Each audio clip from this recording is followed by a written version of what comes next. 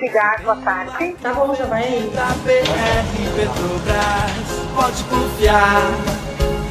É Liquigás.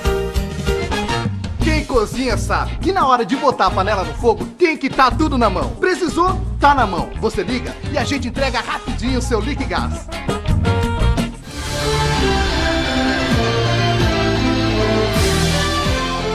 A sessão da Câmara de Vereadores, que será realizada nesta segunda-feira, 2 de julho, tem na pauta Resolução de Mesa número 014 de 2018, de autoria da mesa diretora, referente ao feriado de 16 de julho de 2018.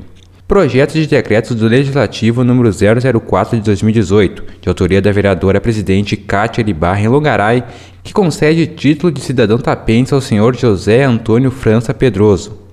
Projeto de Lei do Legislativo número 004 de 2018, de autoria de todos os vereadores, que estabelece condição para a demolição de prédios e outras construções públicas no território urbano e rural do município de Tapes e da outras providências.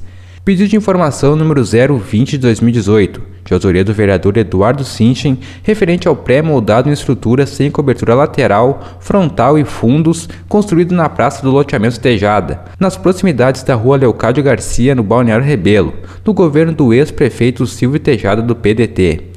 O vereador solicita cópia de planta do referido pré-moldado e cópia do projeto licitatório e comprovante fiscal do valor pago à empresa construtora deste patrimônio público municipal.